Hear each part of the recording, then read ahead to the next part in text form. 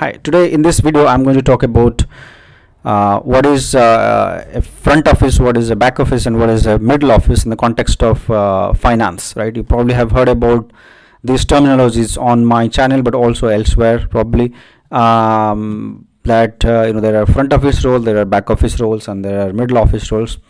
So question is um, what are these roles, right? Um, what is uh, a front office, what is a back office and what is a middle office, right? Uh, in the world of finance these terminologies are used quite uh, frequently. And if you want to work in finance i think it's good to that uh, good to be familiar with familiarize yourself with these jargons right? Easy to understand but sometimes can be a bit confusing for outsiders or the ones who have just started in the world of finance right? So uh, so what is a front office right? As the name suggests it's uh, it's, it's in the front front in the sense that uh, you know the people who work there actually face the customers right? Uh, there are two types of businesses right for most uh, financial service industry uh, companies.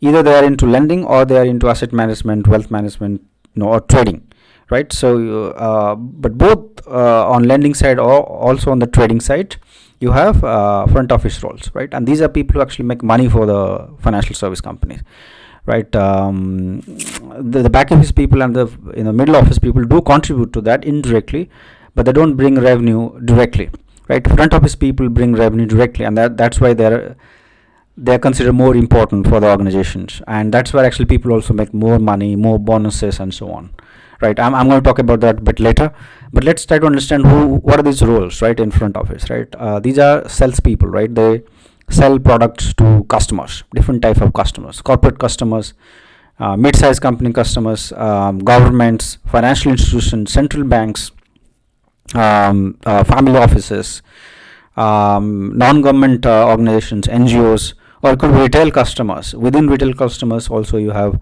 you know segregation depending on the product type and so on and so forth right? So um, these are the people who actually talk to the customers directly for the uh, you know for granting credit right? On the trading and wealth management side uh, yeah, these people also talk to the clients to to sort of you know get the money but also take decision uh, on the transactions right on behalf of the client right? Um, so so there is a lot of interactions uh, between uh, the client and and the and the employee of the uh, organization. Middle office and and and and back office people don't have uh, or very rarely have direct interaction with with clients. Although there may be instances where there would be some uh, in uh, interactions but yeah uh, not many interactions i would say.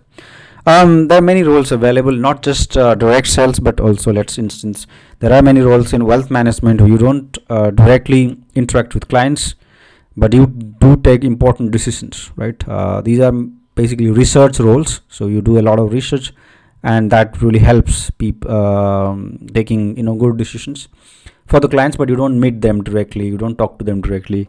It it it seems like more of a back office role but it's actually uh, a front office role. Sorry not a back office but a middle office role but it's actually a front office role because you do contribute to the revenue directly right. Um, uh, investment banking is where you know people talk to uh, the clients very directly and, and also um, uh, face to face um, uh, for a variety of things whether it could be for uh, merger and acquisition IP, IPOs and you know those kind of activities.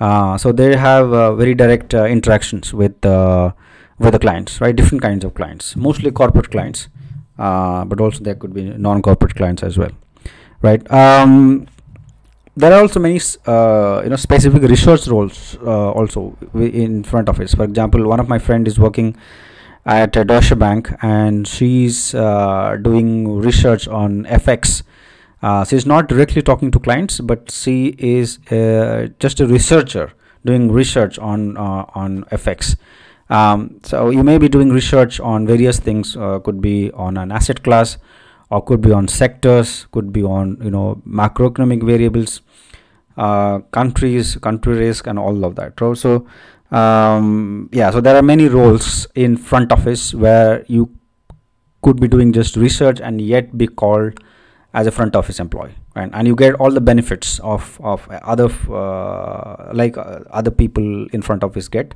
like you know good bonus and etc etc right um, there are also roles on advisory side where you advise clients and take a fee. So it's more like uh, a fee based uh, business for uh, financial organizations. Uh, yeah so um, that's also one type of front office role.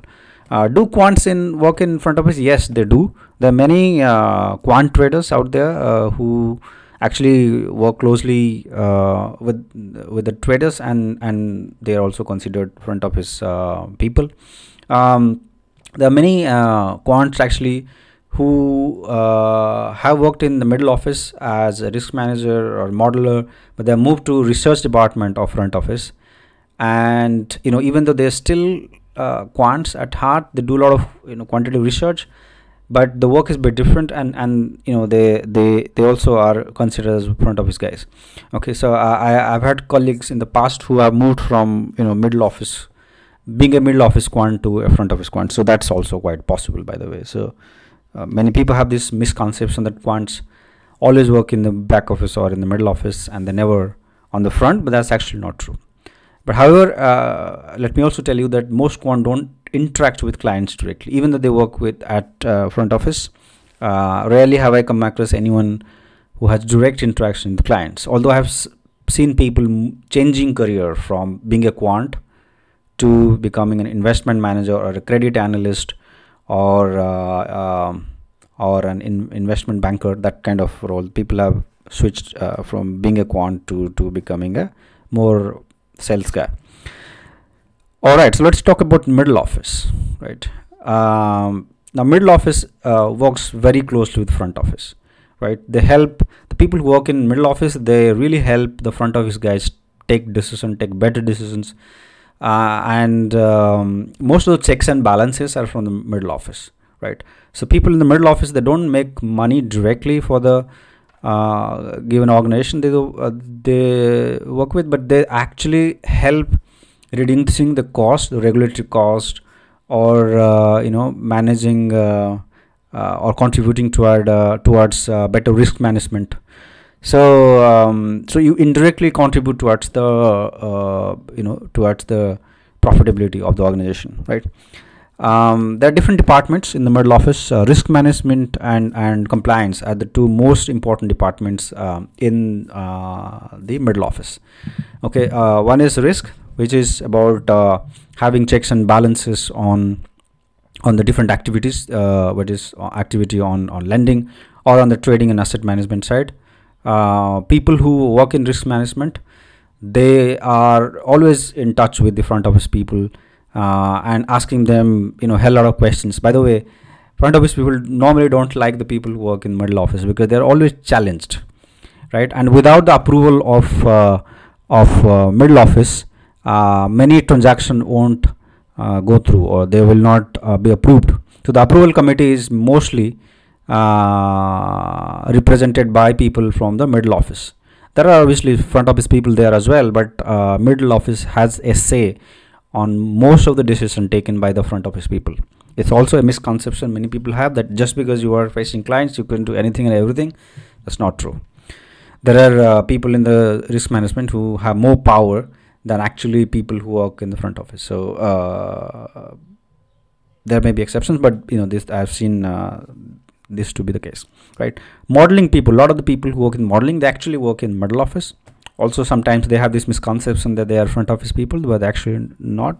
In most scenarios, especially for working uh, as a modeler in the risk management department, you are part of the middle office. Uh, right? And uh, you have quantitative and non-quantitative roles in in middle office right? The peak, there are roles where you don't build models but you do more of a control activities uh, you do more of uh, governance kind of thing but uh, you don't build models.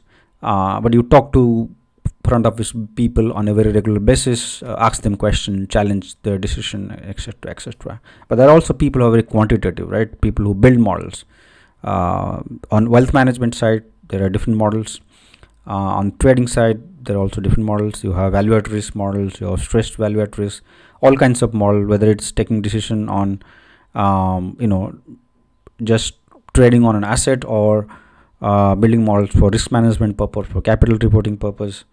On the market side for different different products you have different different models and you have quants there working there. And you have also quants working on the credit side on the lending side who work uh, building models such as PD, LGD, EAD models uh, for uh, capital calculation or you know developing scorecard for uh, risk rating or developing stress testing models for regulation uh, for regulatory reporting and etc uh, or you may be working with models such as liquidity assessment treasury related models. You could be working with operational risk models so on and so forth. So there you know uh, many areas within risk management and you have different kinds of modeling requirement in each of this uh, area. Right? Similarly uh, compliance is also a very big department within uh, middle office and they're very powerful as well. Um, the different kind of compliance requirement and off late compliance is, is being given uh, as much important as the importance given to risk management. Uh, for a very long time risk management used to uh, get a lot of attention from uh, everyone from government from central banks from uh, you know uh, uh, from from senior management within the organization. But compliance is actually getting a lot of attention uh, these days. And a lot of work also there happening there. A lot of jobs are there in compliance. Quantitative modeling is also a bit new in compliance but it, it is gaining popularity more and more uh, organizations are now building models on compliance area uh, more like the risk area to you know um, to you know to have better compliance and i think um, a lot of things are happening on KYC front, on uh, assessing financial crime, on sanctions, and etc. etc. And um, yeah, these things are happening in both areas on lending side, also on the trading side. Uh, many fintechs are inventing a lot of things on on compliance. So these are uh, roles in uh, middle office in compliance okay? Um, but you also have roles such as uh, roles in control policy roles. Like there are policy writers who write different risk management policy. There are people who actually uh, do communication with the regulator or with the government. Um, these are people who don't work with clients directly but they do have a say on a lot of things uh, also quite powerful. Um, how about IT right? Uh, it's a good question actually whether IT comes in middle office or not. So IT is is such an area right? It some some IT people actually work very close to the front office people especially on trading uh, trading area. Not so much on the lending and, and uh, lending side but on the trading side there are many IT people who work very closely with the traders uh, there are many IT people who also work in uh, risk management side, especially on the model implementation side, especially on managing uh, or maintaining the risk systems, reporting systems, and so on and so forth. But uh, a lot of the IT folks actually work in the back office side. That means they have practically no connection with the front office people. They have never worked closely with uh, sales guys or investment bankers or wealth managers or chief risk officer. You know, those or compliance ops they have they don't work with them right uh, they rather work with uh, more middle office people um, okay so so it is a bit tricky uh, but i would put it you know somewhere between uh, middle and back office although in many organizations such as in big organizations like you know jpmc and those uh, SET, you know, this is the top investment banks in the world. IT is considered as back office, whereas in um, mid-sized banks, um, or uh, banks which are not invest just investment banks but they also have other activities. Uh, at least in Europe but I've seen that IT is considered more of a middle office thing and not uh, completely a back office right? Um, okay so what are the roles in back office right? Uh, so back office roles are mostly the ones which are outsourced to different other organizations or they are uh, they, these are roles where you yeah it's it's more operational driven actually it's it's like people work in operation uh, like you know trade settlement reconciliation of data all of that uh, accounting hr customer services you know uh, even IT, some IT roles, uh, software development roles. Yeah, these are back office role. A lot of people who work on the data side also they work uh, on the back office role. Um, who makes the most money? Yes, the guys working uh, in the front office they make the most money. Um, but some middle office people also make good money. Um, and uh, in my experience, what I've seen uh, is that uh, front office people make at least you know 30% more than the back office people on average. You know i don't have any data to prove that but it's just a, a ballpark figure i'm just i'm telling you. It's, it's just my back of the envelope calculation. Nothing uh, there's no evidence to prove that. Uh, and i think backup uh, middle office people make i think way more than the back office people. Right. So if you really want to work in finance uh, and if you're really a finance guy you're passionate about finance i think try for front office. It's never easy to get a role in front office especially if you're coming from uh, your places where you know you don't have that many you know big financial uh, service organizations. But if you're based out of the uk europe and uh, us and, and canada and this developed world where finance is a big thing you know try to get into uh, front office roles. Um, but even if you can't make it to front office you can still work in middle office and yet have a very good career right? And you can move from middle office to front office right? But if you want to do that do it early in your career. Because after you have worked in middle office for 10 15 years i think it's a bit difficult to move to front office right? The other way around is much easier by the way. People move from front uh, front office to back office.